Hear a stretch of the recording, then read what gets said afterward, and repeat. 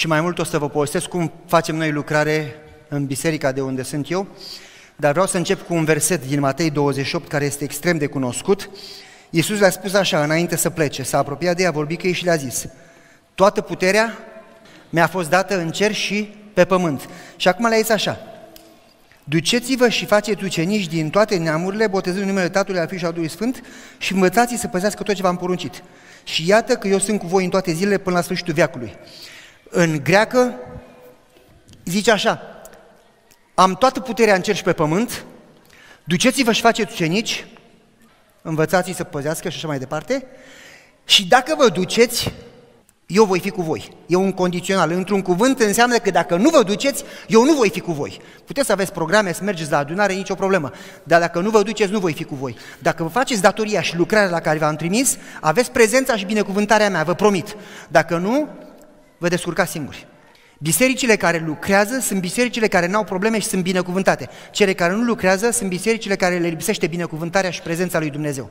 Sora White are un paragraf unde spune că bisericile care nu lucrează ar trebui închise că rostul bisericii de existență, rostul nostru ca să existăm, este să salvăm pe cel pierdut. Iisus de aia a venit să salveze, de aia a murit pe cruce și de aia chema biserica să salveze. Și spune că cei care nu iubesc pe cei din jur și nu lucrează cu ei, n-au înțeles niciodată iubirea lui Dumnezeu și valoarea unui suflet. Iar în parabole spune că atunci când te uiți la cruce, înțelegi valoarea unui suflet și cât de mult valorează în ochii lui Dumnezeu și nu poți să nu te duci. Când m-am mutat în Lexington, Lexington este un oraș extrem de bogat. Adică acolo, când economia a căzut în 2008, în Lexington n-a căzut nimic. Absolut nimic. Nimeni n-a pierdut case, nimeni nu, toată, toată lumea a mers bine.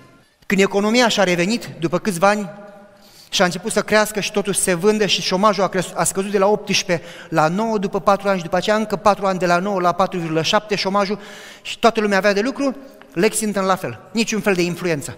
Pentru că acolo au fabrica de Amazon, headquarters, deci conducerea de Amazon, acolo au fabrica de Coca-Cola, acolo au uh, uzina de Toyota Siena, acolo au uzina de Toyota Camry, acolo au o fabrică de avioane micuțe, acolo au o fabrică cea mai mare de îngrășământ uh, pentru agricultură din America, acolo în Lexington au uh, headquarters, conducerea de la IBM, acolo în Lexington au cursele de cai de pe tot globul, se, se numește Kentucky Derby, Derby. Acolo vin și se concurează cu caii și când vin, vezi că coboară de pe un avion mare un arab și un cal. Și calul ăla face 10 milioane de dolari. Și se duc la curse și oamenii pariază și că pariez cu un milion că o să câștige calul ăla. Eu pariez cu 2 milioane că o să câștige.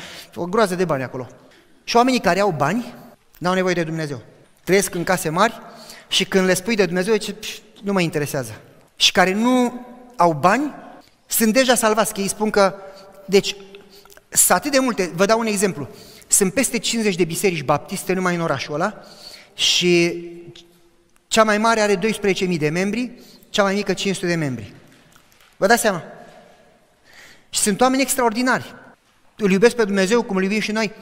Dar dacă vrei să înțelegi Biblia mai bine, trebuie să continui să studiezi. Și dacă mă duc să studiez cu un frate baptist sau cu un frate penticostal sau cu un frate metodist, că sunt baptiști, penticostal, metodiști și presbiterieni, îmi spun, știi ceva? Eu îl cunosc pe Dumnezeu, n-am nevoie să te aud, lasă-mă în pace. Și când m-am dus eu acolo și m-am mutat, îmi spune comitetul meu, zice, uite care e treaba, să nu cumva să ne spui să ținem evangelizări, că au încercat și alții și la noi nu merge. Gata, s-a terminat. A venit aici Marfinley și a încheltuit 30.000 de dolari, nu s-a botezat nimeni, nici nu au venit oamenii. A venit aici Șambunstra, a venit aici Kenneth Cox, au venit numai nume mari. Au venit, s-au rugat, am făcut evangelizare, am cheltuit 50.000 de dolari, am cheltuit 40.000 de dolari și că odată au venit doi oameni, au plecat după o seară, nu interesează, nu se botează nimeni aici, nu vine nimeni. Și eu m-am uitat la ei, ce... aveam două variante. Prima să mă bat cu ei și a doua să fac ca ei, nu? Care din ele e bună? Niciuna. Și le-am declarat război, dar fără să știe ei, război în rugăciune. Pentru că dacă te bați cu ei, cineva câștigă, eu sau ei, dar indiferent cine câștigă, știți cine câștigă când e război în biserică? Satana câștigă. Pentru că o biserică divizată e o biserică pierdută. Iisus spune că atunci când ei sunt una, cum noi suntem una, atunci va crede lumea că sunt copiii mei. Când biserica e divizată, toată lumea pleacă acasă și s-a ales, s-a ales praful. Și m-am gândit, decât să mă cer cu ei și să intrăm în diviziune, cine e de partea mea, cine e de partea lui sora, cine e de partea lui fratele, l-am lăsat în pace. Nici să fac ca ei nu puteam, pentru că e porunca lui Hristos, duceți-vă în toată lumea și predicați Evanghelia, începând din orașul tău, după aceea în orașul vecin, până la sfârșitul pământului, până la capăt. Și nu puteam să ne ascult de Hristos, dar nici să mă cer cu ei. Și atunci am spus, bine, mai vorbim. Hai, altceva, discutăm de altceva acum.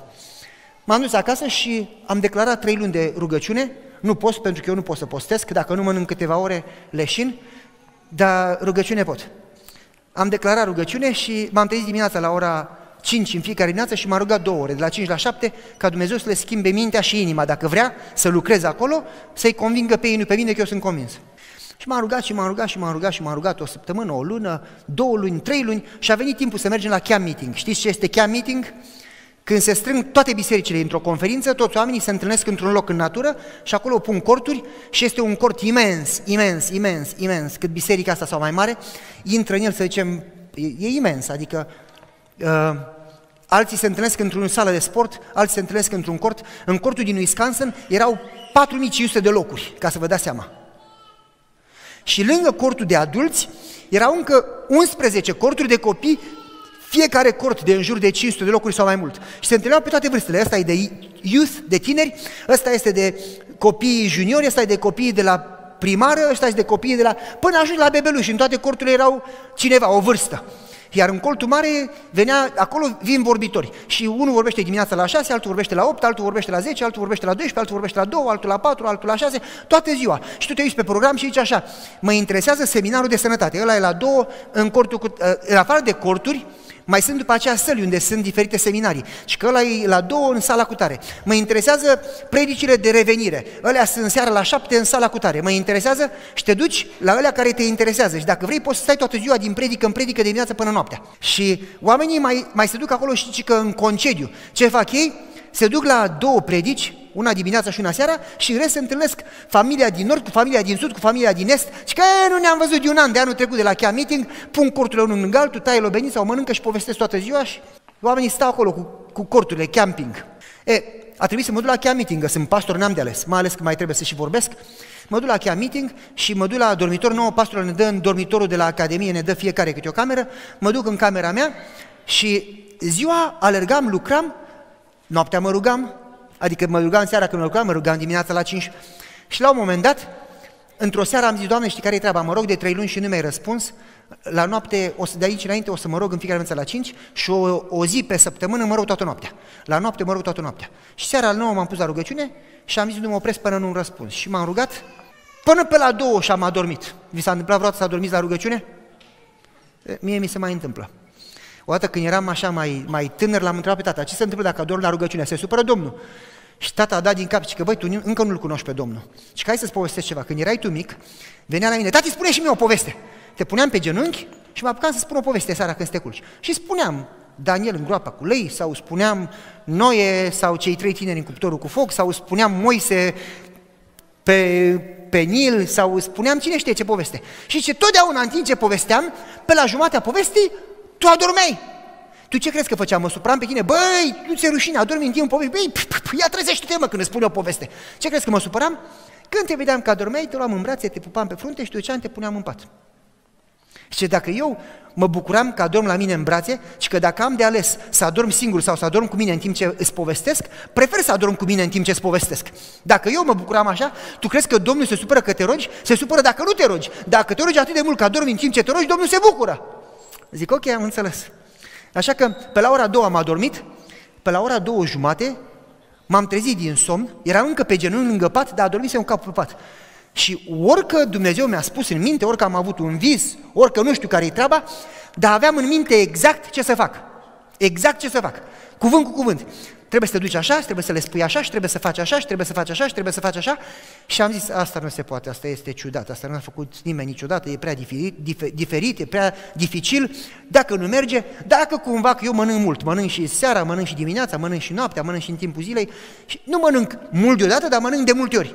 Dacă cumva, pentru că am mâncat prea târziu, am visat eu urât noaptea și nu-i de la Domnul. De unde știu eu că e de la tine? Mă duc la comitet și le spun, uite, așa mi-a spus Domnul și când colo mie mi-a spus burta și, și creierul că mâncasem prea târziu. Zic, Doamne, nu mă apuc să le spun așa până nu-mi dai confirmare că Tu mi-ai spus așa. Și am început să mă rog pe la două jumate, dar m-a învățat tatăl meu o chestie, mi-a zis așa, că tot... Lăsați-l în pace. M-a învățat tata că tot ce-ți amintești, uiți și tot ce scrii amintești. Nu știu dacă m-ați înțeles ce am zis. Zice așa, măi, tu crezi că ți amintești, dar după aceea uiți. Dacă vrei să amintești, scrie, că după aceea nu mă uiți, dacă e scris. Și Când Dumnezeu vă dă ceva în minte, studiezi din Biblie și îți vine o idee extraordinară. Ce zici? Ah, ce idee, o să o țin minte. Peste trei zile, ce mă, am avut o idee, dar nu mi-am despre ce era vorba. Și atunci eu ce am făcut? Când Dumnezeu mi-a pus la ora aia două jumate noaptea în cap toate chestiile astea, am luat pe de o foaie de hârtie și am scris, și am scris, și am scris, și am scris patru pagini, am scris tot ce mi-a pus în minte. Și mergea, mergea mâna de ziceai că parcă e teleghidată, tic, tic, tic, tic, tic, tic, repede. Bine că nu înțelegea nimeni ce scriu, dar nu contează. Eu înțeleg, așa că... După ce am terminat de scris, m-am pus la rugăciune și am zis, acum dacă e de la tine, vreau să-mi dai confirmare și eu nu o să aplic treaba asta până tu nu-mi dai confirmare că tu m-ai inspirat. Mă rugasem deja trei luni și acum mă rugasem jumătate de noapte. M-am rugat și jumătatea cealaltă. Și mi-am zis, Doamne, nu aplic chestia asta până nu dai confirmare că e de la tine. Și m-am rugat de la, să zic eu, 3 până la 7. La 7 m-am oprit din rugăciune, că era breakfast masa de dimineață. Și eu nu pierd o masă nici dacă mă omori. Și am zis, Doamne, acum e timpul de masă, mă rog când mă întorc. când m-am ridicat de la rugăciune, sună telefonul. Prât, telefonul celular. Îl din buzunar și alo, și că aici e doctor Schmidt. Ed Schmidt, care dintre noastre știți, nu știu. Așa, a fost aici, nu? Vreau să vă spun că eu am vorbit cu el să vină, că mi-a spus că nu vine, și doctor Cluzei și doctor Schmidt. În sfârșit, dar nu vreau să mă laud, lauda lui Dumnezeu. Sunt, ei mă cheamă pe mine să vorbesc studenților pentru rugăciune și eu îi chem pe ei. Când îi cheamă conferința sau când îi cheamă cineva, nu se duc. Dacă le dau telefon și îi rog, se duc, pentru că avem o relație bună. Și mă sună Edge și îmi zice, Băi, Pavele, tu ți-amintești, măi, că acum trei luni când te-ai dus tu în Lexington, m-ai rugat să vin să vorbesc cu ei cum să, cum să fac evangelizări? Zic, cum aș putea să uit? Te-am chemat și mi-ai spus că nu poți să vii. Zic, nu o să te iert pentru chestia asta. Prima dată când mă chem, tu ghicește care e răspunsul. Nu. Și zic, bineînțeles că mi-amintesc, asta nu o să ți-o uit. Ce lasă mai, lasă, că trebuie să uităm și să iertăm, lasă asta. Și zice, zic, băi, ține minte, tu, eu te-am chemat pe tine și ai zis nu, când tu mă chem pe mine, răspunsul e nu. Una la una, așa se plătește. Și, și zice, lasă, lasă aia. Deci atunci s-am spus nu. Dar mie îmi pare rău că noi doi suntem prieteni și lucrăm împreună de mulți ani. Mergem împreună și vorbim la camp meetings, mergem împreună și vorbim la past- întâlniri pastorale. Și uite care e treaba. Să spun care e treaba. Conferința din Virginia, din greșeală, când m-a pus pe program, a pus în aceeași zi când era graduarea de la școală. Și mi-au dat telefon și mi-au spus că nu pot să schimbe graduarea de la școală. Așa că sabatul ăla l-am liber. Vrei să vin la tine? În august. Și zic, da, ce întrebare e aia? Calule mănânci o văz. Vino! Și zic, ce vrei să faci când vii la mine? Despre ce o să vorbești? Și începe Edgmit și îmi spune cuvânt cu cuvânt tot ce îmi pusese Domnul minte la ora două jumate noaptea. Dar cuvânt cu cuvânt. Am rămas așa, cu gura căscată, ca așa ca la dentist. Că eu cerusem lui Dumnezeu, până nu-mi dai confirmare că e de la tine, eu nu o să aplic chestia asta. Și când am terminat la ora șapte ca să mă duc la masă, sună telefonul și îmi dă confirmarea. Și zic, zice Ed, bă, dar tu mai ești acolo sau am pierdut semnalul? Zic, sunt aici. Păi de ce nu zici nimic? Păi stai să spun de ce nu zic nimic. M-am rugat de trei luni ca Domnul să-mi arate ce să fac. Dumnezeu m-a trezit la ora două jumate azi noapte și mi-a spus ce să fac. Eu am scris pe o hârtie ce să fac și apoi m-am rugat până la șapte și am cerut confirmare. Și la șapte, când am zis amin, ai sunat la telefon și tot ce mi-ai spus tu e ce am scris eu pe hârtie. Oh, când a auzit Ejmit, gata, vin și facem așa cum ai zis. M-am dus acasă după cheia meeting și când s-a terminat cheia meeting, mă duc acasă și mă întâlnesc cu comitetul. Zic, fraților, să vă spun ce s-a întâmplat. M-am rugat trei luni ca Domnul să ne arate ce să facem aici în Lexington. Și zic, Dumnezeu mi-a arătat. Și ăștia ce, spune-ne ce să facem. Și zic, nu vreau să vă spun. Păi de ce nu ne spui? Pentru că nu vreau, uite așa. Ce-mi faceți? Numai ce mă mutasem acolo de trei luni de zile, nu mă dă afară, că eram, cum se zice, în luna de miere. Dați telefon la conferință să vedem, mă mută, nu vreau să vă spun. Hai mă frate pastor, spune, nu vreau. Păi de ce nu ne spui? Păi să vă spun de ce nu vă spun. Că voi nu vreți să lucrați. Noi nu ținem evangelizări, noi nu facem cu tare, noi nu facem cu tare, că aia nu merge. Și dacă vă spun, voi nu faceți. Uite care este înțelegerea. Vă rugați și voi ca mine și când vă spune Domnul și vouă, atunci facem. Până atunci nu vă spun. Și zice, păi, păi ce păi? Vă duceți și vă rugați, nu trebuie să vă rugați. Ba da, trebuie. Ok, acasă. Păi nu, că avem comitet. Trebuie să discutăm cum reparăm parcarea, că e crăpată toată, cum reparăm acoperișul deasupra de sala de sport, că este dus și plouă. Zi, nu, acasă toată lumea. Zi, nu, că trebuie să avem comitet. Noi nu, niciodată nu cancelăm un comitet. Trebuie să avem comitet. Zi, băi, cine e pastorul aici? Păi tu, ok, acasă toată lumea, nu facem comitet. Păi, uh, zic, cât sunt, până nu vă rugați, acasă toată lumea, nu facem comitet. S-a supărat trezorierul și un om cam dur, așa, a fost acolo trezorierul de o viață, și zice, niciodată niciun pastor n-a cancelat un comitet, aici nu se cancelează comitetele. Zice, frate, uite care e treaba. Sună la conferință și ceartă-te că e nu cu mine, spune să mă mute. Deocamdată eu sunt pastor acasă toată lumea. S-au dus acasă și le-am spus, data viitoare, peste o lună, când avem comitet, vă întreb dacă v-ați rugat pentru planul lui Dumnezeu. Dacă v-ați rugat, avem comitet. Dacă nu, vă trimit acasă iar. Și luna viitoare, și luna viitoare, și până vă rugați. Până vă rugați, nu avem comitet. Dar nu trebuie să avem comitet, atunci rugați-vă. Luni i-am sunat pe toți, fiecare din comitet. Pe primul prezbiter, pe al doilea, pe al treilea, pe toți prezbiterii, pe toți diaconii, pe trezorieri, pe toți. I-am sunat acasă, fiți atenți că n-am glumit. Dacă nu vă rugați să vă arate Domnul ce mi-a arătat mie, nu avem comitet. Și vă spun la biserică că nu vă rugați, că aveți un comitet, vă spun la toată biserica, bă, aveți un comitet care nu se roagă. Vă fac de râs. A, nu faci tu asta. Zic, încercați-mă și vedeți. Nu mă cunoașteți. Eu sunt puțin cam aha și o să vedeți că spun la toată biserica. Ăștia au luat un serios, au crezut că sunt dus cu pluta și s-au apucat să roage. Și mi-am dus în fața bisericii, dar nu le-am spus chiar așa. Zic, uite, m-am rugat mult, Dumnezeu mi-a arătat ce să fac și acum am cerut comitetul să roage și ei și eu să roage și zic, o să vedeți că peste o săptămână îi întrebăm în fața bisericii că s-au rugat, să vedeți că ridică mâna că se roagă. Ăștia din comitet au prins frica că îi întreb în fața bisericii care se roagă și trebuie să ridice mâna. Chiar că au, au băgat-o pe mână că ceau, și trebuie să ne rugăm că asta ne face de râs. Și pe aceea am spus bisericii, trebuie să vă rugați și voi pentru planul lui Dumnezeu, pentru biserica asta. Sâmbătă viitoare, zic, sâmbătă asta nu vă întreb, dar viitoarea vă întreb. După aceea îi sună acasă duminică, zic, băi, v-ați rugat? Ce da, gata, ne rugăm toți. Ok, e bine. N-am mai întrebat să-i fac de râs care se roagă, care nu. Luna viitoare am avut comitet. Care au venit la comitet? Cum au venit? Zic, acum vreau momentul de mărturisire, confesiune, ca la preotul catolic. Hai să vedem. Cât s-a rugat mâna sus? Toți. Zic, praise the Lord, sper că nu mințiți, că minciuna e păcat. Ok, acum vreau să spun cui i-a spus Domnul ce să facă. Doi dintre ei, Shirley și David, au ridicat mâna și ce ce ne-am rugat și am postit și n-am, nu ne-am oprit din rugăciune. Doamne, te rugăm frumos, dacă e de la tine, spune-ne ce să facem, că dacă nu, pastorul ăsta nu ne spune nimic. Și ce Dumnezeu ne-a spus și ce foarte ciudat. Și au început să-mi spună ce îmi spusese Edmit și ce îmi spusese Dumnezeu. Doi din 18. S-au rugat și ceilalți, dar Dumnezeu a ales, nu știu de ce, să le spună lor a doi. Și atunci le-am spus și eu, uite așa este. Și le-am povestit toată povestea și le-am povestit ce a zis Edmit, tot comitetul. Gata, așa facem. N-au mai zis, păi noi nu facem evangelizare, păi nu, nu, nu, că aici nu merge, că sunt oamenii bogați, că nu ascultă, că nu interesează pe nimeni, că nu vine nimeni la adunare, că... Aveau un medie între 90 și 120 veneau la adunare. În medie. Și ultimii 70 de ani, spusese conferința, că avuseseră în medie două botezuri pe an. Cât de multe? Două pe an. Pentru ce perioadă? 70 de ani. Ok. Am început să dăm studii biblice. Și cum făceam? Trimiteam, am sunat la uh, uh, Seminars Unlimited, că ăia știu toate codurile, nu știu cum se numesc aici, codul de oraș, care pui pe cutia de poștă, pe, pe, pe plicul de poștă. Și ea spune așa, orașul Lexington are 10 coduri. Codul 40454, codul 40455, codul 40456, codul, mă înțelegeți? Și ce în codul ăsta sunt 10.000 de case, în codul ăsta sunt 12.000 de case, în codul ăsta în jurul aeroportului nu sunt decât 6.000 de case, în codul ăsta sunt 14.000 de case, în codul ăsta și spune în total câte case sunt în oraș. Și în total 300.000 de locuitori. Am sunat și am luat hotărârea, că așa mi-a spus, așa mi-a spus Domnul noaptea aia, nu știu, că în vis, că în creier, că nu știu cum, să trimitem invitații pentru studii biblice acasă, că oamenii nu vor să meargă la biserică, să studiem cu ei în casele lor, că oamenii vor să studieze acasă. Deci dacă e chem la biserică, nu vor să vină. Dar dacă nu știe nimeni în casă, studiază acasă, acasă vor să studieze. Să trimitem invitații cine vrea să studieze acasă Biblia, pe degeaba. Și să nu spunem nimic mai mult cum, doar că Free Bible Studies in Home. Acasă studii biblice pe degeaba. Și zice, trimiteți la câte așa a fost, așa mi-a descoperit Dumnezeu, trimiteți la câte un cod odată. Și am trimis la primul cod, am întrebat Seminars Unlimited, câte case sunt aici? 10.000.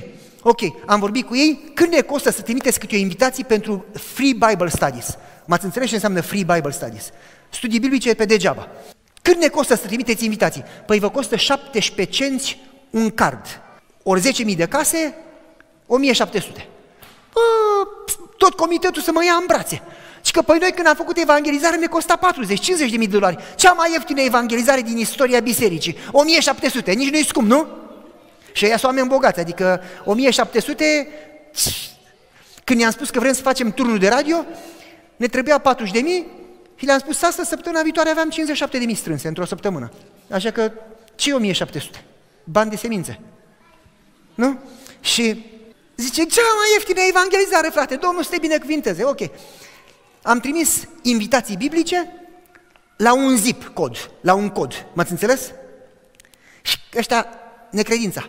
Și să vezi că nu răspunde nimeni. 276 de oameni au răspuns.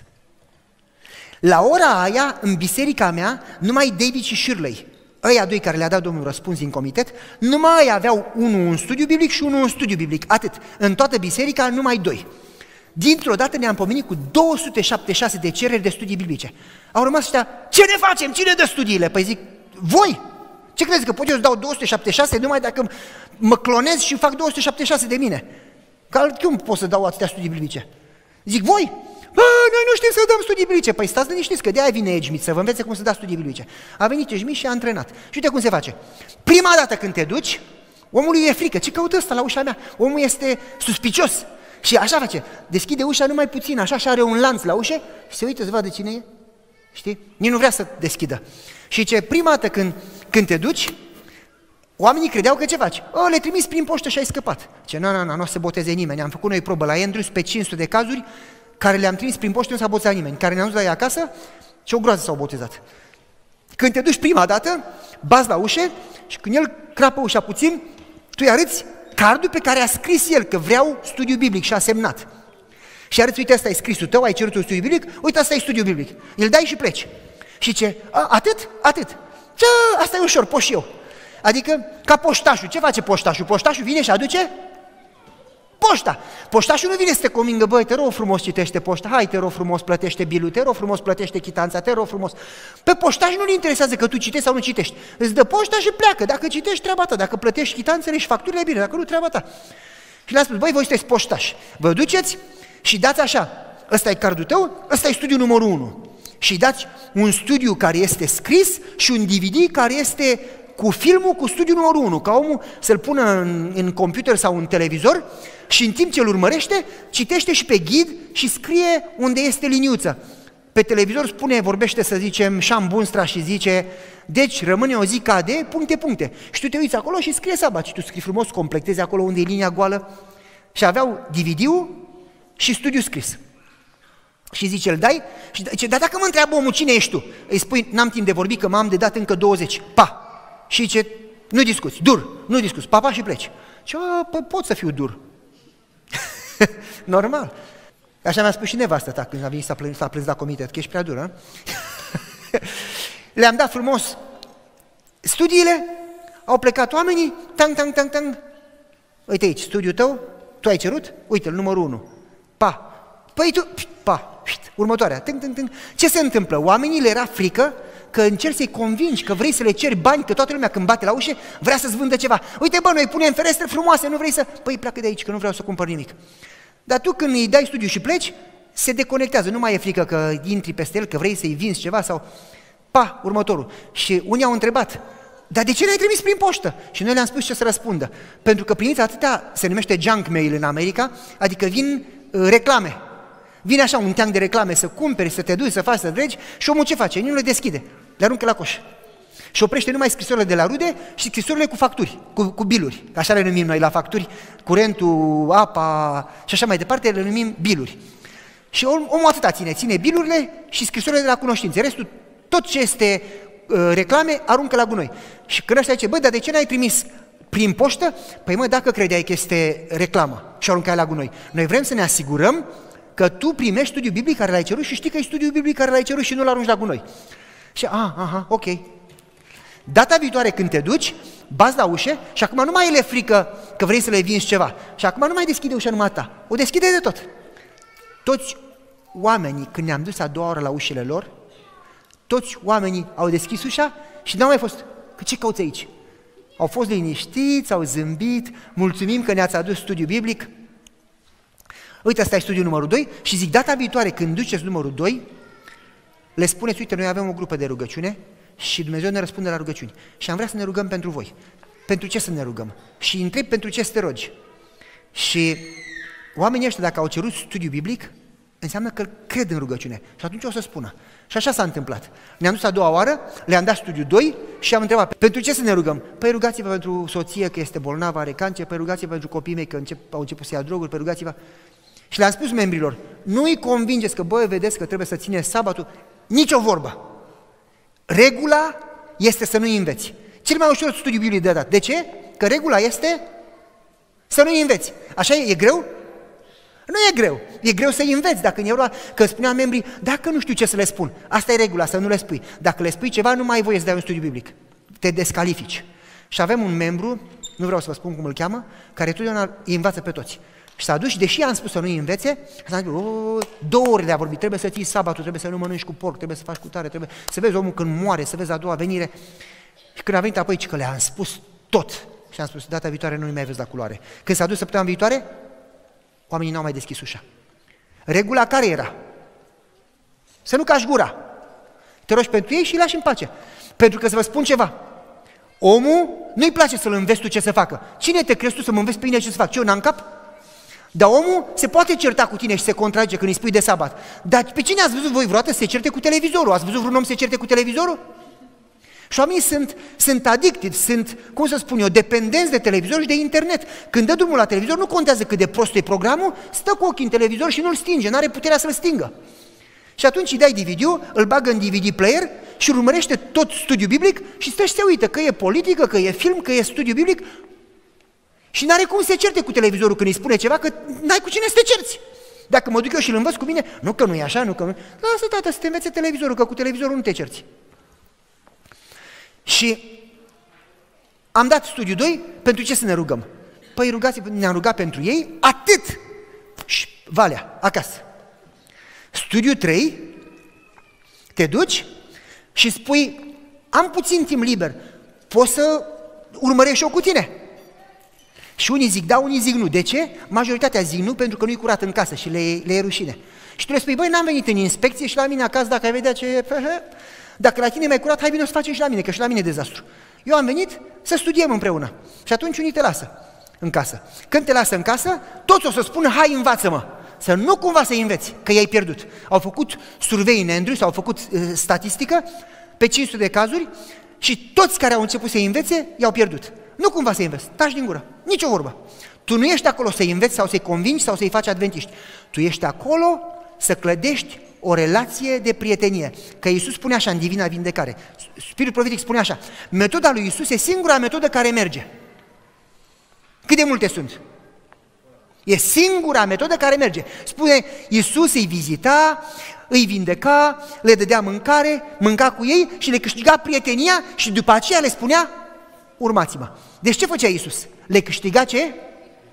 Pentru că atunci când ajungi cu un om să te cunoști, să fii prieten bun, atunci altceva. Dar la un străin nu poți să-i spui, băi, fă ca mine. Păi, dar de ce să fac ca tine? De ce nu faci tu ca mine?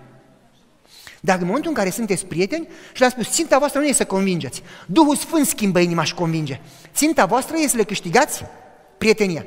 Așa că a treia oară, prima dată nu poți să intri în casă, că ești un străin. Ce cauți bă în casă la mine? Ești afară. Dar a treia oară deja te-a văzut de două săptămâni, gata. Băi, am și eu puțin timp. Și s-a făcut studiu, dacă între a treia și a șasea oară n-ai intrat în casă, poți să renunți poți să te oprești. Că nu o să, ajungi, nu o să ai niciun rezultat. Deci, a treia oră încerci, dacă nu, a patra oră încerci, dacă nu, a cincea oră încerci, dacă nu, a șasea oră încerci, dacă nu vrea să te lase în casă, îi spui, uite care e treaba. Asta e faza a doua. Eu cu soția avem o masă. Am cumpărat și înghețată, înghețată, când aud ăștia de înghețată, zici că să te așa vin. Am cumpărat și înghețată, am cumpărat și plăcintă, am cumpărat și soda, cum zic ei la băutură carbogazoasă, ei numesc soda. Adică Pepsi, Sprite, treburi de genul ăsta, nesănătoase și bune. Și că avem înghețată, avem cutare, avem cutare, hai să mâncăm împreună. Și da, când aud, dacă îi inviți pe la tine, nu vin. Oh, n-am timp. Dar când aud de masă, americanii se închină mâncării. Ei nu mănâncă să trăiască, ei trăiesc să mănânce. Adică iubesc mâncarea și mănâncă până cad. Dacă le spui mai ales de mâncare străină, și ai de mine, vin grămadă și zice, am gătit o mâncare, hai să mâncăm împreună, că este, eu cu soția avem așa o aniversare, o celebrare, ceva. Și invit tu la tine, că ideea este, ce să faci? Să le câștigi prietenia, asta e ideea. Și un om când te întrebi că domnule, ce prietenia? Dacă când stai la masă și mănânci împreună două ore, începi să vorbești și să leagă o prietenie acolo. Și atunci oamenii, a treia oară când s-au dus, uite, am puțin timp, Pot să intru și eu să studiez cu tine. Și unii au zis da, unii nu. Care au zis da, ce intră, hai învață-mă. Și șomul nostru ce trebuia să spună atunci? Să învețe sau nu? Regula care e? Zipit. Liniște. Trage fermorul. Și ce spun oamenii ăștia? Băi, Nici eu nu sunt pastor, eu sunt templar, eu sunt doctor, eu sunt dulgher, eu sunt zidar, eu sunt dentist, eu sunt vopsitor. N-am cum să te învăț că nici eu nu știu destul, dar uite aici studiu, e foarte bun. Pune-l în DVD și îl urmărim amândoi, ca să nu se certe cu, că tine se ceartă cu televizorul, nu. Pune studiu și îl urmărim amândoi. Pune studiul, îl urmărește, când se termină ce faci? O rugăciune și pleci. Ne-au spus oamenii, după vreo cinci dăți, și că am fost convinși că vreți să ne convingeți. De aceea am văzut că voi nu faceți treaba asta, voi nu încercați să ne manipulați, nu încercați să ne convingeți, voi doar ne iubiți. Veniți, vă rugați pentru noi și plecați și ne lăsați în pace, să ne convingă Duhul lui Dumnezeu, să avem libertatea de a alege singuri și ce noi respectăm treaba asta, ne place cum lucrați. Vă dați seama? Cu oamenii au înțeles treaba asta, că noi le respectăm libertatea care Dumnezeu le-a dat-o și nu încercăm să-i manipulăm, ci din contră. Măi, Duhul Sfânt trebuie să te convingă, nu eu. Eu, eu îți dau, predic Evanghelia, dar tu E hotărârea ta cu Dumnezeu, nu e hotărârea mea. nu e așa? Fraților, între timp, pe la studiu 6, când am intrat în casă la ei, faza a doua începea, ce Dumnezeu ne-a descoperit în rugăciune. Începeau seminarii la adunare, nu evangelizare. Seminarii. Și ce am făcut? I-am întrebat prin casă, uite men, noi putem să facem seminariile astea și le-am dat o listă. Și pe listă erau vreo 14 seminarii și la sfârșit era o linie goală. Tu dacă te-ar interesa unul din seminariile astea, semnează aici, dacă nu, și e altceva ce noi n-am pus pe listă, scrie pe linia asta goală. Și era acolo cum să te oprești din tutun, cum să te oprești din droguri, cum să, de familie, relații maritale de counseling, cum să, dacă ești în divorț, cum să lucrezi împreună, cum să te duci copiii, cum să rezolvi dacă ești în datorii, cum să te rezolvi dacă ești bolnav cu sănătate, seminar de sănătate, cum să înveți să te rogi, seminar de Daniel, cum să înveți profețiile, seminar de... Erau acolo vreo 14 seminarii dacă te interesează pe unul, marchează acolo și pune numele tău. Dacă e altceva ce noi n-am pus aici și nu ne-am gândit, scrie pe linia asta goală. Au scris toți ce interesează și apoi le-am pus împreună și am zis așa, 25 vor să lase de tutun, 10 vor să lase de droguri, 15 au probleme cu copiii, 20 sunt în divorț, mă înțelegeți? Și odată pe, sau de două ori pe lună, nu sâmbăta, aveam câte un seminar. Și aveam așa, joia asta seminar de sănătate, duminică seminar de, de oprit de fumat, joia viitoare seminar de parenting, adică cum să-ți crești copiii, duminică seminar, mă înțelegeți? Și nu plăteam pe nimeni, oameni din biserică. David, tu ești doctor, te ocupi cu ăștia, cu sănătatea. Randy, tu ceri de la conferință cum chestia cu tutunul, cu cei 12 pași sau știu eu 7 pași și tu te ocupi de ăștia. Tu, oamenii din biserică. Pentru că ținta mea nu era neapărat să-i forțez pe ei să lase de tutun, ci să clădim, ce anume? Prietenie. Dar acum eram la pasul 2, și anume să se învețe și cu câțiva din biserică. Și la seminarul de sănătate, i-am spus la toată biserica, sunt două extreme, una a venit tot și a doua nu veniți niciunul. Vreau să știu câți îmi vin la tutun, nu vreau decât 10. Câți îmi vin la sănătate, nu vreau decât 10. Câțiva, un grup mic, pentru că cu o, o sală mare, oamenii se rușinează și pleacă. Dar cu un grup de 5, e ușor să clădești prietenie. Și ne-am spus la oamenii mei, voi 5 care veniți aici, aduceți mâncare și bună și multă că mănânc și eu. Voi 5 care veniți aici, aduceți mâncare că vin și eu. Și au adus mâncare și joia s-au întâlnit și am invitat pe ăștia. Uite, mei, ați vrut seminar de cum să opriți din fumat. Joi avem seminarul. I-am invitat pe grupa asta. Cu ocazia asta s-au întâlnit cu încă cinci din biserică și au început să mănânce împreună, să vorbească. Și ce se întâmpla acolo? Clădeau prietenie. Au început să, să vină la biserică, dar nu sâmbătă, veneau joia, veneau duminica. Băi, tu ai semnat pentru sănătate, dar mai avem unul și de copii, n-ai vrea să vii. Și le-am dat programul, pe data cu tare avem seminarul cu tare, pe data cu tare seminarul cu tare, pe data cu tare seminarul cu tare. Alegeți-vă. Și oamenii au venit la primul, au văzut că le-a plăcut, au văzut că mănâncă bine, au venit și la al doilea, au venit și la al treilea. Unii veneau la mai mulți, unii nu, au început să vină la biserică în timpul săptămânii. M-ați înțeles? Între timp am trecut la faza a treia. Faza a treia. Ne-am strâns tot din biserică, cum ne spusese Dumnezeu, și ne-am împărțit și ne-am dus la toată poliția din Lexington. 25 de stații de poliție la toate. Ne-am dus la ei, sâmbătă după adunare, câte doi, câte doi. Fratele cu sora, fratele cu sora, fratele cu sorele a două, frații a doi, câte doi, câte doi. Ne-am dus la toate stațiile de poliție și le-am dus la toți. Am invitat întâi poliția la noi, că am uitat să vă spun. I-am invitat la noi, sâmbătă seară, și duminica am invitat pompierii. I-am invitat la noi și am băi, voi vă sacrificați pentru orașul ăsta și poliția și pompierii, toată lumea vă blamează că sunteți răi, dar noi știm că noi nu sunt toți răi, ori fi unul, doi și dacă un măr e rău, strică toate merele. Și toată lumea pentru o prostie care a făcut-o ăla, blamează toți poliția dar nu sunteți toți răi. Haideți, tată, să vă dăm o masă bună și să ne rugăm pentru ca Dumnezeu să vă protejeze, să nu vă împuște drogații. Hai să ne rugăm pentru voi. Și ăștia au zis, băi, noi putem veni, dar ceilalți trebuie să stea pe străzi, că dacă plecăm toată poliția, cine stă pe străzi? Ok, care au venit, le-am dat o masă și ne-am rugat pentru ei, nu le-am ținut predică, nu le-am spus de porc, nu le-am spus de sabat, le-am, ne-am rugat pentru ei și atât. Care n-au venit, săptămâna următoare, ne-am dus noi săptămâna următoare la toate stațiile de poliție și le-am dus prăjituri și soda. Ce este soda?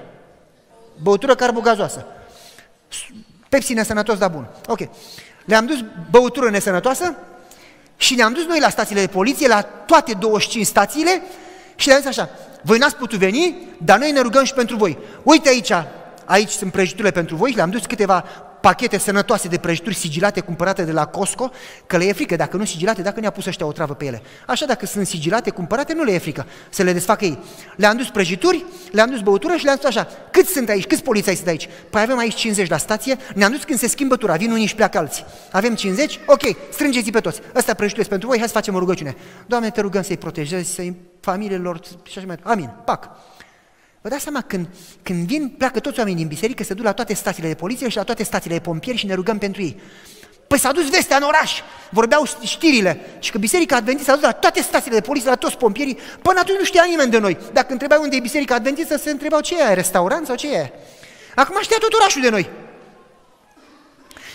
Sâmbătă asta ne-am dus la stație de, la stație de poliție, duminică, mâine ne-am dus la toate stațiile de pompieri, duminica viitoare ne-am dus în parc în spatele molului unde sunt magazinele, am strâns toată biserica și bătrâni și tineri, ne-am dus în parc, toți îmbrăcați de scandal și am început să culegem sticle, hârtii, tot, tot, tot și puneam în saci și după ce am cules și am curățat parcul, am făcut lună, ne-a luat de la 8 până la 12. Credeți că s-au supărat tinerii că, bă, păi mai bine mă duceam și jucam fotbal. Vreau să vă spun că am rămas extrem de uimit când am terminat, au zis, știi ceva?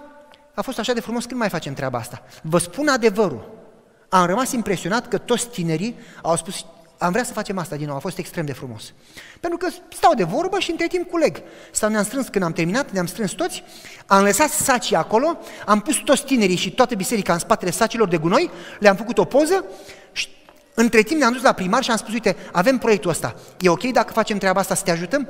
Ai de mine să mă ia în brațe primarul. Și că sigur că e ok. După aceea am făcut o poză și am dus primarului poza. Unde crezi că a apărut poza după aceea? În ziare. Cine crezi că știa acum de noi? Tot orașul, tot muritorul. După aceea, duminica viitoare, ne-am împărțit care sunt cu construcții din biserică și ne-am dus la primar, am vorbit așa, care sunt casele care au nevoie de ajutor. Și că, păi uite aici avem o listă care nu și-au vopsit, nu și-au aranjat casa, e mizerie, e gunoi și le-am dat amenzi. Și ăștia sunt săraci, sunt bătrâni, nu pot să-și aranjeze. Ne-am dus la toate casele alea, nu la toate, că erau prea multe, și unii au tăiat iarba în față, alții au făcut curățenie, alții le-au vopsit casa și toată lumea, băi, de ce faceți treaba asta? Nici rudele mele nu mă ajută. Men, așa a spus Isus. Nu a spus, bă, ați fost la biserică. Spune, am fost sărac, am fost înfometat. Am... Nu? Așa a spus Isus când vine. Ce băi, ați venit la biserică, veniți, voi n-ați venit la biserică, duceți-vă. Nu, nu a zis așa. Deci am fost în pușcărie, am fost sărac. Duminica viitoare, toată biserica ne-am împărțit și ne-am dus la toate spitalele din oraș și la toate azilele de bătrâni și la toate azilele de copii. Și ne-am dus la bolnavi și ne-am uitat unde nu se ducea nimeni, care nu avea vizitatori, ne duceam, le deam o floare, o rugăciune și plecam. Fai de mine, a început să vuiască orașul. Adică nu numai un proiect, proiect după proiect, sâmbătă după sâmbătă, duminică după duminică. După aceea, sâmbătă viitoare seara, ne-am dus în downtown, în centru, și în centru e un parc și în parcul ăla sunt oamenii care n-au casă. Acum în Lexington nu sunt prea mulți, că Lexington e bogat, dar mai sunt și acolo, se mai strâng din ăștia. Ne-am dus și am pus o masă mare și am adus mâncare, s-a făcut coadă, păi a venit presa, a început să facă poze. La un moment dat, tot orașul știa de noi. Înainte, dacă am ținut evangelizare, nu venea nimeni. Și care, dacă vreau să vină, aveau numai lucruri, uite, oh, să vezi, adventiștii ăștia, cine știe ce ciudat e cu ăștia, dacă sting luminile, dacă ăștia, ha, ha. Acum, nu putea nimeni să mai vorbească de rău. Cine ține evangelizare? O, ăia care s-au dus să ruga pentru poliție. Cine? Ăia care se roagă pentru pompieri. Ăia care dau de mâncare la săraci. Ăia care ne repară casele. Ăia care se duc la spitale. Cea, curăță parcul. Cea mai bună biserică în oraș. Hai toți! M-ați înțeles? Între timp, deci faza întâia ne-am dus la oameni să dăm studii biblice, între timp, faza a doua am început seminarii de la biserică cu nevoile lor, ce au cerut ei? Să-i ajutăm cu nevoile lor. Faza a treia am început să ajutăm orașul. Între timp, s-a făcut septembrie, s-au terminat studii biblice, faza a patra. Am anunțat evangelizare generală. Acum tu când faci evangelizare și chemi oamenii la tine și predici seara de seară, seara de seară, toate doctrinele, te aștepți ca un om să se schimbe toată viața în patru săptămâni sau în două sau într-o săptămână de evangelizare. Păi cine se schimbă, frate, într-o săptămână? Noi ne schimbăm într-o săptămână? Sincer. Cum poți să-i pretinzi un om care așa s-a născut și așa a învățat și el e sincer, dar el atâta știe, într-o săptămână să schimbe toată viața și să devină mai bun decât noi? Cum poți să-i pretinzi treaba asta? Acum noi nu eram așa. De ce? Pentru că omul ăla a făcut șase luni de studii biblice, săptămână de săptămână. Mă înțelegeți? Am fost la el acasă și șase luni a luat-o prin studiu 1, studiu 2, studiu 3 și în fiecare săptămână ne-am dus de la acasă și a urmărit și despre sabat, și despre cutare, și despre cutare. A avut timp să se gândească, a avut timp să se lupte. Ne amintesc, ne spuneau membrii noștri, experiență după experiență. Ne spuneau mem- membrii noștri că se duceau și spunea, nu se poate, nu, ce sabat, nu pot să țin. Și îmi spuneam, ce să-i spun? Nimic. Dacă încerci să convingi, l-ai pierdut. Tot ce îi spui, o să mă rog pentru tine, te înțeleg. Nu spui că are dreptate, nu spui că nu are dreptate, spui, o să mă rog pentru tine. Și spuneau oamenii, ce apreciez că n-ai încercat să mă convingi. Și săptămâna viitoare când ne duceam, că m-am gândit și deci acum când am ascultat studiul următor, îmi arată alte versete și mi-arată cum s-a schimbat sabatul. Și studiul 3 mi-arată cine l-a schimbat și de ce. Și studiul 4 și uite așa încet, încet, încet, încet și omul între timp a avut timp să gândească și ce m-am uitat în Biblie și ce așa este și ce mi-e cam greu, dar am luat o hotărâre. Și e lupta lor cu Duhul Sfânt. Nu trebuie să se fie lupta lor cu mine, mă înțelegeți? Eu mă rog pentru ei. Omul a avut șase luni timp, a trecut prin toate studiile, a avut timp să se roage, a avut timp să se gândească, a avut timp să-și ia o hotărâre, da sau nu. Acum când vine la evangelizare, el deja știe tot. Și acum aude din nou. A văzut la televizor, a citit pe studiu și aude din nou de la vorbitor. A treia oară. Deja știe tot. Acum e ușor, când fac un apel să se boteze, e ușor să zică da, pentru că a avut șase luni timp să se gândească. Mă înțelegeți? Nu-i cer să schimbe într-o lună. A avut timp. Când am ținut evangelizare, înainte nu venea nimeni. Când am ținut evangelizare, a venit în jur de 300 ceva de oameni. Ăștia din biserică de la mine, în viața noastră n-am văzut mai mult de doi vizitatori într-un sabat. Ce ne facem? Ce, vă rugați pentru ei, ce să vă faceți? Când am ținut evangelizare, acum să vedeți. În loc de un vorbitor și restul ceilalți asistă, tot organizat. Oamenii în parcare, când veneai, te ajutau să parchezi și după aceea îți vineau bun venit și ți arătau unde e ușa.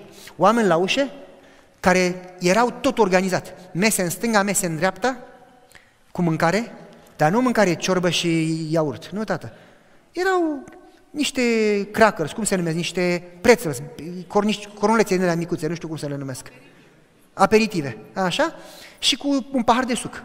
O să fie ușor, să nu muncească nimeni și să nu murdească nici ei pe acolo. Erau puse la ușă afară, pe hol, și după aceea erau lângă mesele de mâncare, mesele de înregistrare. Se înregistrau și după aceea intrau înăuntru. Înăuntru aveam deacon la ușă care îi conduceau la scaune și la scaune la fiecare două rânduri, aici este cheia, se numesc rohosts, adică cei care au grijă de persoane mentori, cei care au grijă de persoane. Și la fiecare două rânduri era câte unul. Uite, unul aici, rândul al treilea, rândul al cincelea, rândul al șaptelea și ăla, datoria lui este să învețe pe ăștia de pe rând. Să-i știe pe toți, pe nume, pe toți. Nume cu nume. Gică, Mitică, Popescu, Mariana și Stella. Să știe pe toți pe nume. M-ați înțeles? Și în fiecare seară te duci la ei și vorbești cu ei și întrebi ce mai fac, ce le mai face familia, te rogi pentru ei și ăștia sunt oamenii tăi și de ăștia ești responsabil. Nu te interesează de ceilalți, pe tine interesează de rândul ăsta. Aveam oameni și seară de seară, oamenii au obiceiul când vin se așează în același loc. Seară de seară aveam un om care avea grijă de oamenii ăia. Vreau să vă spun că după o lună de evangelizare, omul ăla se știa cu ăia, știa tot despre ei, știa ce copii au, cum îi cheamă pe copii, cât cum e familia, ce servicii are, absolut tot. Pentru că în fiecare seară, după evangelizare, iar ieșeau pe hol și mâncau și povesteau. Și Omul ăsta le dădea ce le trebuie. Când vorbitorul vorbea, ăsta le dădea materialul, uite, acum a vorbit despre asta, uite, asta e hârtia. La tot ce vorbea le dădea o hârtie, uite, asta e hârtia.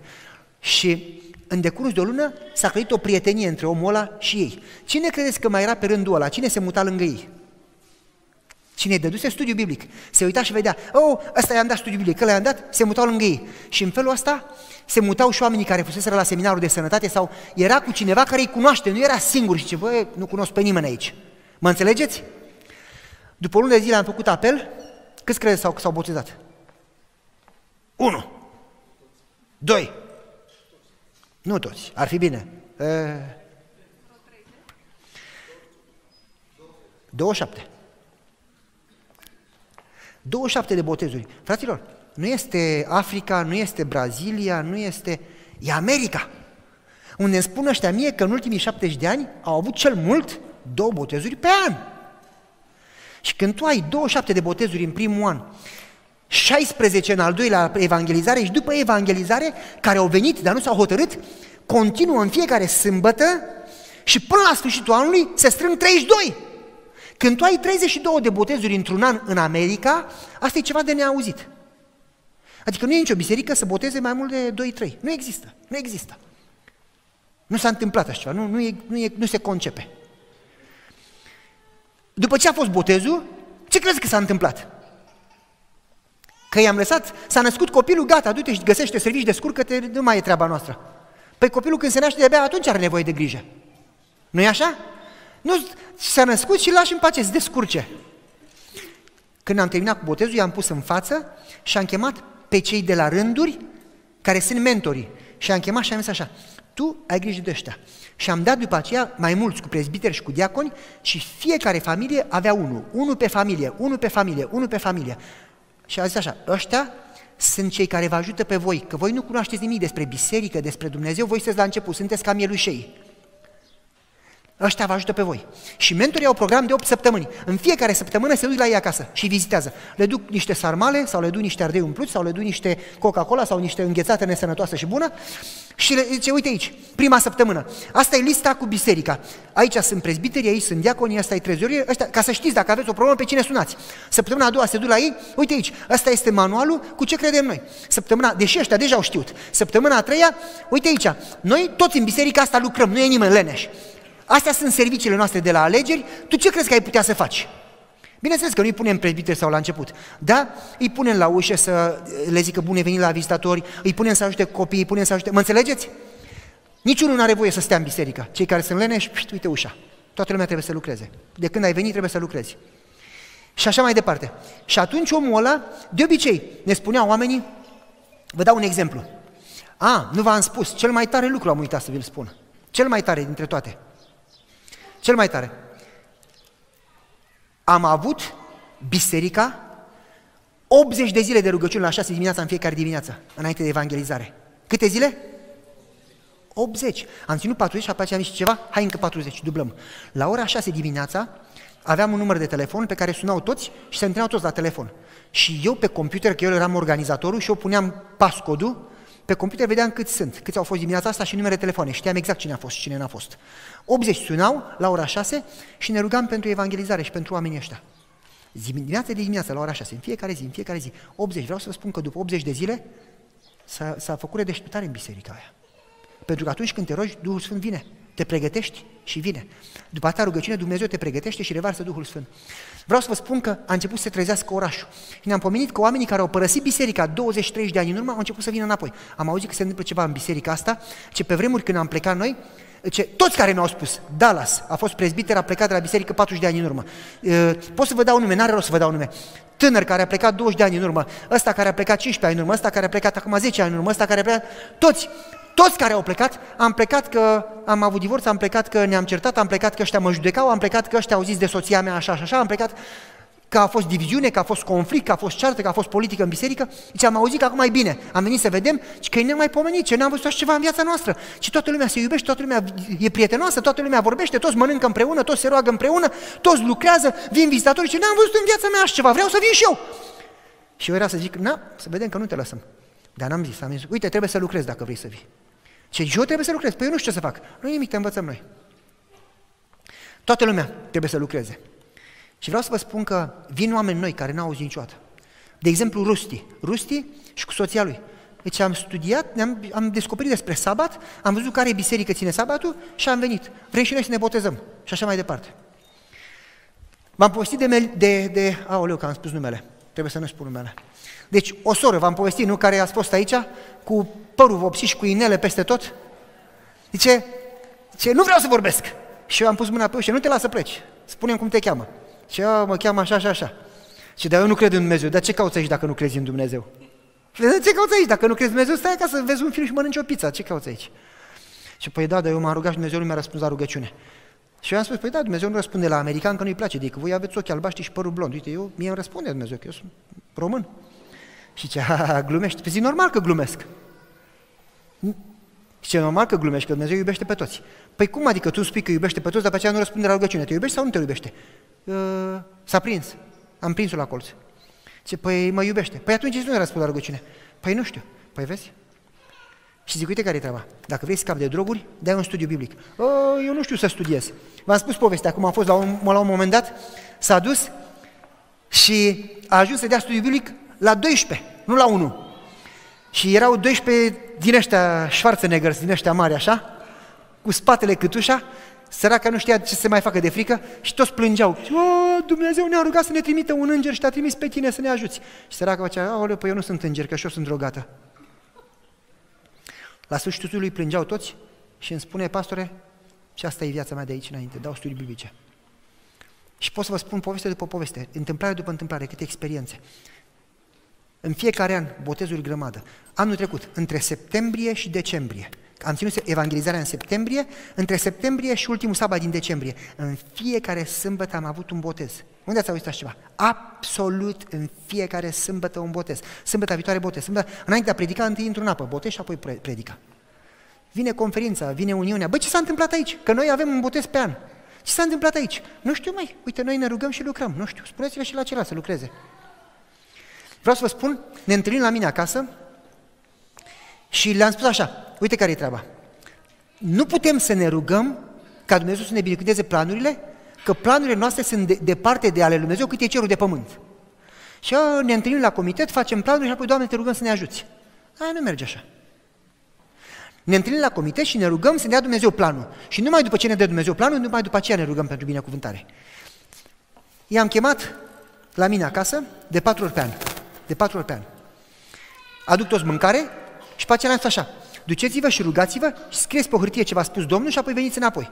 Dar să nu veniți cu planuri mici, că Dumnezeu meu nu e mic, Dumnezeu meu e mare. Când veniți cu planuri mici, vă arunc hârtiile. Veniți numai cu planuri mari ca să știu că e de la Domnul.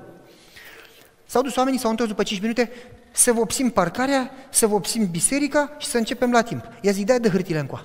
Mi-au dat hârtile și le-am aruncat în fireplace, în foc. Zic, duceți-vă în pădure, vă întoarceți după două ore. Când vă întoarceți, vă întoarceți cu planuri mari, numai atunci discutăm. Că pastore, ne-a aruncat hârtiile pe foc, zic, și vi le arunc și pe celelalte dacă veniți cu planuri mici. Și le-am spus, vorbesc extrem de serios, vă duceți în pădure, că aveți loc, uite pădurea cât e de mare, vă duceți în pădure și vă plimbați și vă rugați și veniți înapoi numai după ce v-a dat Dumnezeu răspunsul. Până nu vă răspunsul, nu veniți înapoi. După vreo două ore au început să vină înapoi, au luat-o în serios și s-au rugat. S-au rugat oamenii extrem de serios. Și când au venit înapoi, și că o să te cam superi, că Dumnezeu ne-a dat planuri cam mari. Zic, ok, spune. Și am început să scriu pe tablă. Și unul zice, vrem să avem de aici înainte studii biblice, cum ai făcut anul ăla, absolut în fiecare an, până, până vine Domnul. Nu ne mai oprim. Nu, le place cum a ieșit. Înainte ziceau că noi nu ținem evangelizarea aici, că nu merge. Acum se rugau ei de mine să ținem evangelizarea aici. Era, mi-a stat pe limbă să le spun, parcă ziceați că nu merge. Dar am trecut din gură, nu le-am zis nimic. Dar așa era ispita, mă gâdi la sub limbă. Deci vrem să ținem evanghelia în fiecare an. Unul zice, vrem să ținem studii biblice în fiecare an. Al treilea zice, vrem să ținem corportaj absolut în tot orașul, mergem din casă în casă. Al patrulea, vrem să ținem 10-12 seminarii de pe an de varietate. Zic, ok, asta facem, deja altceva. Vrem să avem radio nostru. Nu chiriem de la alții și plătim, să avem turnul nostru de radio cu Vrem să avem televiziune, vrem să avem cutare, vrem să avem... Ai de mine, mi-am pus mâinile în cap, voi nu știu ce vorbiți, Doamne, iartă că nu știu ce spun. Păi zic, mă, oamenilor, voi atât de mult a spus Că nu avem oameni să facă toată treaba asta și nu avem bani atâția. Zic, nu, tată, luați două sau trei, după ce le facem pe alea, după aceea următoarele două sau trei, după ce le facem pe alea, după aceea următoarele două sau trei. Și păi n-ai spus tu că să vină de la Domnul, că dacă de la Domnul, că Domnul când îți dă planul îți dă și mijloacele? Mă înțelegeți? Domnul când îți dă planul, îți dă și puterea, îți dă și mijloacele. Dacă Domnul spune ești din Egipt, Domnul seacă marea, mă înțelegeți? Domnul îți dă Canaanul pentru că El te-a trimis. Dacă te duci de capul tău, nu se știe dacă se mai întâmplă așa. Ce nu ne-ai spus tu că dacă e de la Domnul, acum ce faci, ne descurajezi? Și eu zic, nu, tată, decât trei, luăm pe primele trei. După ce am luat numai trei, s-au cam descurajat că eu le-am promis una și am făcut alta, și au plecat acasă. Eu ziua următoare trebuia să vorbesc la diviziune. Era o întâlnire la diviziune și trebuia să vorbesc despre rugăciune. Mă duc la diviziune și eu niciodată nu pierd nimic. Soția mea mai pierde telefoane, mai pierde chei, mai pierde portofele, eu nu pierd nimic. Niciodată n-am pierdut un telefon, niciodată n-am pierdut o cheie, niciodată n-am stricat un telefon, mie nu cad din mână să le sparg, nu sunt atent și sunt pichi, așa, sunt chițibușar. Și mă duc și după ce vorbesc la diviziune, mă duc la hotel și pun pe masă computerul, pun paharul de apă, pun telefonul și când deschid computerul, lovesc paharul de apă, se varsă pe telefon și mi-arde telefonul. Ah, muream de ciudă. Am desfăcut repede telefonul, i-am scos bateria, am încercat să-l șterg. Ce tată, parcă se botezase, era plin de apă. Am încercat să-l usuc, să-l șterg, l-am pus în orez, că m-a învățat cineva să-l pun într-o pungă cu orez. De unde? Nimic, mort. Nici nu se... Am făcut rugăciune, numai că nu l-am uns cu ulei. Am făcut rugăciune, nimic, n-am viat. Mort. M-am dus la Ruti Jacobson, care este pe diviziune cu rugăciunea, și zic, Ruti, ce să mă fac? Nu pot să-mi sun nevasta și eu nu mă culc dacă nu sun nevasta și telefonul meu e dus, nici nu pornește. Uite, l-am, l-am scos bateria, l-am uscat, am pus bateria înapoi, l-am oprit, l-am pornit, nici nu pornește, e mort. Zic, m-am rugat pentru înviere, nimic. Și Ruti zice că ok, ia telefonul meu. Am sunat pe Dana, zic, băi, Dana, am ars telefonul. Dana, ce bine îmi pare că l-ai ars, că toată ziua am zis mie că eu le ar toate. Așa, sar și tu unul, că tu spui, vezi, eu n-am mai niciodată niciunul, acum nu mai poți să zici. Tăcut din gură, zic, ok, ai dreptate. Și după ce vorbesc cu ea, mă pun la rugăciune. Am vorbit pe telefonul Rutic, eu n-aveam, telefonul meu era stricat. Mă pun la rugăciune. Și în timp ce mă rog, zic, Doamne, ajută-ne ce să facem în Lexington, mi-a venit în minte, Tu ești în calea lucrării, Tu distrugi lucrarea. Și Doamne, dar de ce să distrugi lucrarea? Pentru că Tu le-ai spus oamenilor ca, eu, ca să se roage și tot ce îi impresionez eu e de la Domnul să facem. Și eu le-am impresionat și Tu te-ai opus. Te-ai opus planurilor mele. Și mi-a venit chestia asta puternic în minte și nu puteam să scap de gândul ăsta. Și am zis, Doamne, dacă cumva m-am opus lucrării tale, te rog frumos să mă ierți și să îndrepți greșelile mele.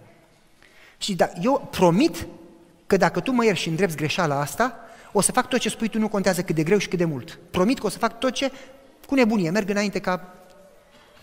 În momentul ăla, sună telefonul meu, telefonul stricat, ăla mort, care nu pornea. Și sună un om și zice, Fraților, în decurs de o jumătate de oră, tot ce am spus nu comitetului s-a întâmplat. Tot ce eu am oprit și am zis nu, că e prea mult și că nu avem bani, totul s-a întâmplat. Le-am spus nu la radio, sună telefonul și zice, mă numesc cu tare și cu tare, cine o fi ăla? Zice, nu sunt membru în biserica ta, sunt într-o bisericuță micuță, undeva la țară, și zice, ăștia nu vor să facă radio. Și pe mine m-a impresionat Domnul să facem radio și știu că voi lucrați biserica aia. Vreau să vă donez banii și o clădire și ce eu vă donez atât, o sumă destul de mare, nu pot să vă spun cât, că e secret, și vă donez clădirea și voi să faceți radio. Și zic, merge telefonul. O sun pe Dana să-i spun că merge telefonul. Când iau telefonul mort, nici nu se aprindea. Zic, bă, cum a sunat ăsta pe telefonul mort? Pun telefonul jos, sună din nou. Conferința. Am hotărât să vă dăm tinerii de la Academie să facă corportaj la voi pe cheltuiala noastră. Voi nu trebuie să plătiți. Și eu mă opusesem cu corportajul, că am zis, ce te duci din casă în casă, le dai cărți, că nu merge. Îmi pun telefonul jos, sună din nou.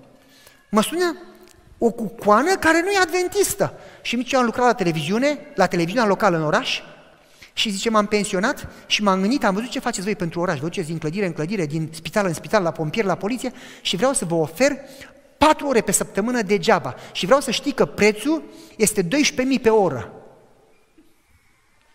Eu vă ofer patru ore pe săptămână de aici înainte pentru totdeauna. Am vorbit cu președintele televiziunii locale, am vorbit cu toți și am votat, dacă voi acceptați treaba asta, pentru că voi faceți asta pentru oraș, vă dăm patru ore pe săptămână la orele de vârf degeaba. Ați auzit așa ceva vreodată?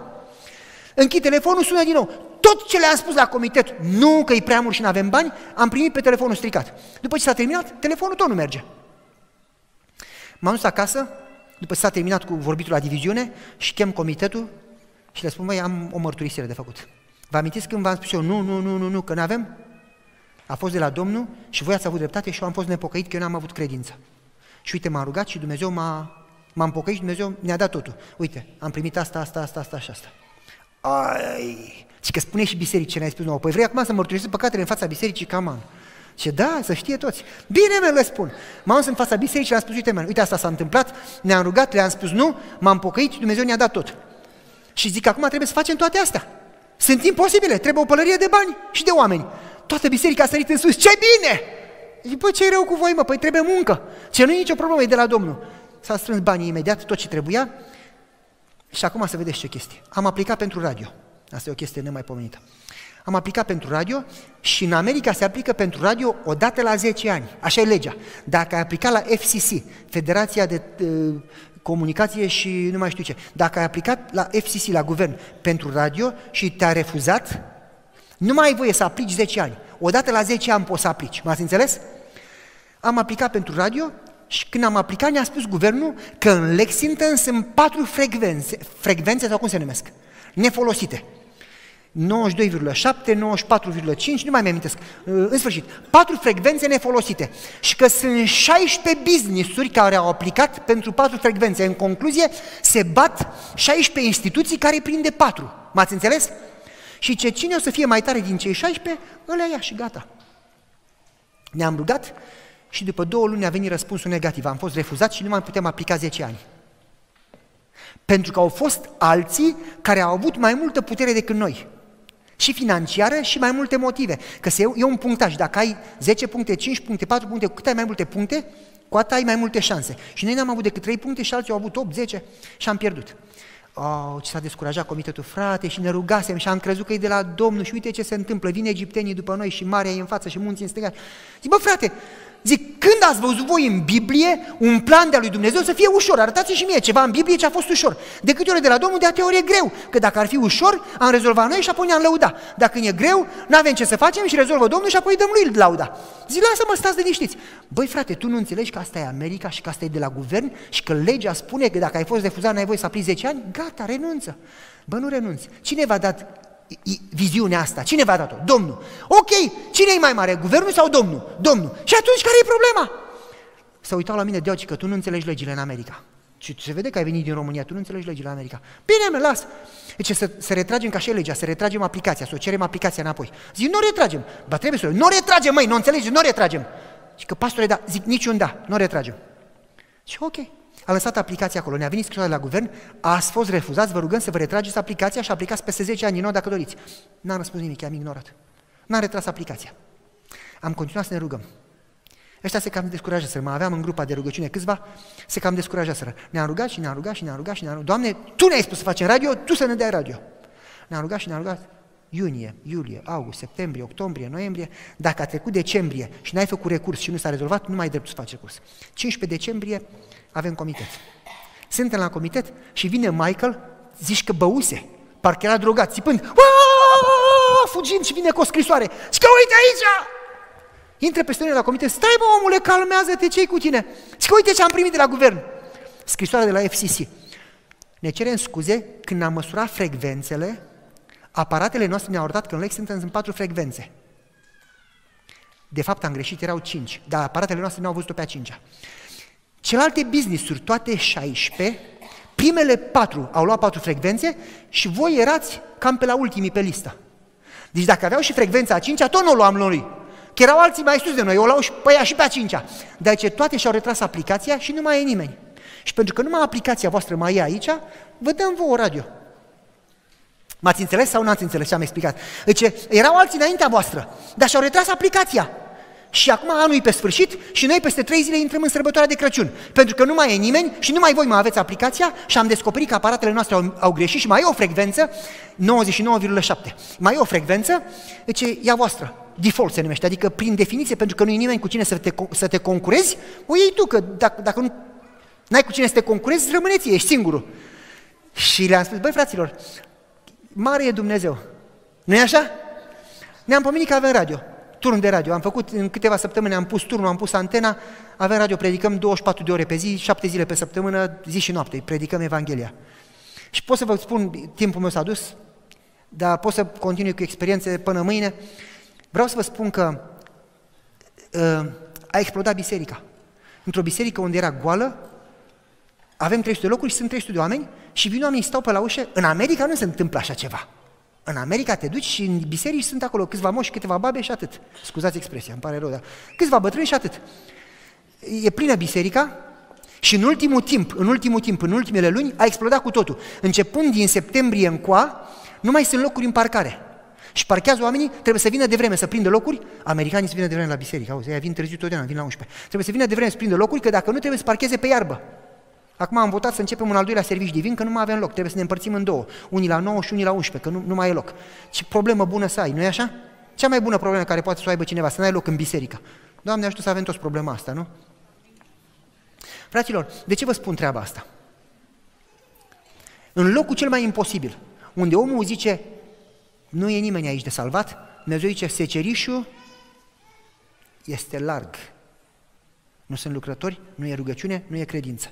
În momentul în care aveți pe inimă lucrarea lui Dumnezeu și vă pune și vă rugați cu seriozitate, Dumnezeu va da planul potrivit pentru locație și nu numai că vă dă planul. Vreau să vă spun că nu-i numai câștigul că am salvat suflete prețioase și că salvăm suflete care vor fi în cer pentru veșnicie și o să fie acolo pentru că, pentru că noi lucrăm. Dar biserica a fost reînviorată. Biserica trăiește, trăiește o, cum să spun eu, parcă e în cer deja.